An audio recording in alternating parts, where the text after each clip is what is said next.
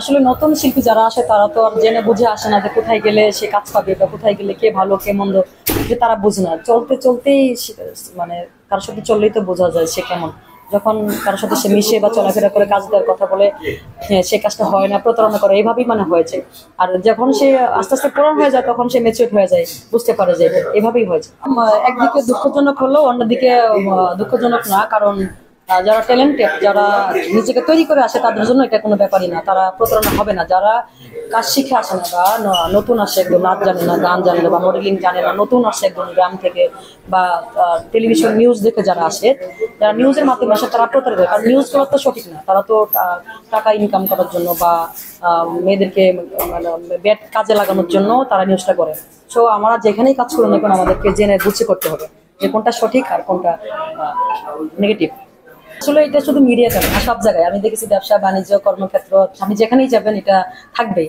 কিন্তু তার মানে এই নয় যে শুধু মিডিয়াতেই এটা আপনি নিজের কাছে আমি যদি বলি যে মিডিয়াতে আমি খারাপ ভাবে আসব নেগেটিভ ভাবে আসব, অনেক মডেলিং আছে না যারা বাজে মানে নেগেটিভ ড্রেস পরে আসে। আবার কেউ আছে, যেমন আমি একটা ড্রেস পরে আসি, অবশ্যই নেগেটিভ না পজিটিভ আছে। তো যার কাছে যেমন, কেউ নেগেটিভ ভাবে ভালো হতে চায়, কেউ পজিটিভ ভাবে।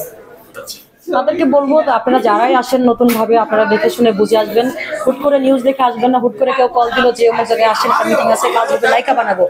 তারা যেন এই খবরটা না শুনে আসে, তারা অন্তত যাচাই বাছাই করবে। যদি সিনেমায় তারা তাদেরকে নায়িকা হিসেবে সাইনিং করে, অবশ্যই সাইনিং করবে কন্ট্যাক্ট পেপার দেবে সাইনিং হবে। মুখের কথায় তো কাজ হবে না।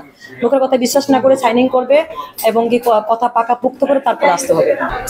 মডেল অনেক ধার ধরুন যে কেউ হলো পারফরমেন্স করে স্টেজ পারফরমেন্স করে, কেউ হলো মডেলিং করে, কেউ হলো স্টেজে যেটা মডেলিং করে, আবার গান করে। নাটক করে সেটাকেও মডেলিং বলে। অনেকগুলো ধাপ আছে। এটা কে- কোনটাকে ক্যাটাগরি নেবে? যেমন আমি নাচ করি, গানও করি, সাথে অভিনয় করি, আবার মঞ্চ নাটকও করি।